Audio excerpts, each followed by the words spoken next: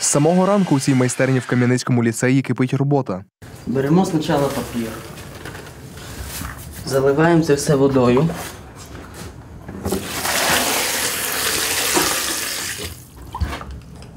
Далі викидаємо чуть-чуть терси.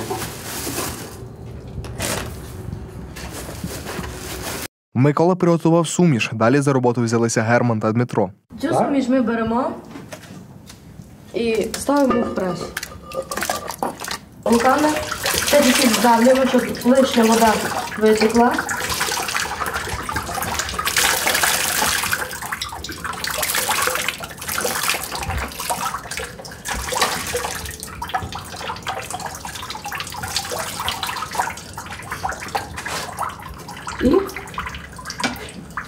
Далі все пресує прес. Так зосереджено ці хлопці майструють паливні брикети. Їх у цій школі почали виготовляти ще три роки тому. Школярі стали учасниками всеукраїнського екологічного проєкту. Із е, більш ніж 200 шкіл е, України ми е, взяли, подали свою заявку, попали у е, 25 е, претендентів, і серед тих 25 претендентів е, 10 шкіл отримали невеличкі кошти для реалізації цього проекту. Серед них були і ми. Е, Наш проект полягає в тому, що е, ми ем, виготовили прес, е, який, е, за допомогою якого ми пресуємо, робимо брикети для опалення е, навчального закладу.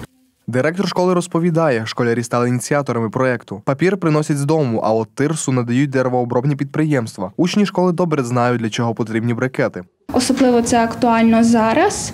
Паливні брикети з паперу та тирси зменшують відсоток використання деревини для опалення, а також це шлях до усвідомлення нашими учнями ціни і тепла, яку вони мають, раціональнішого використання його, а також зберігання.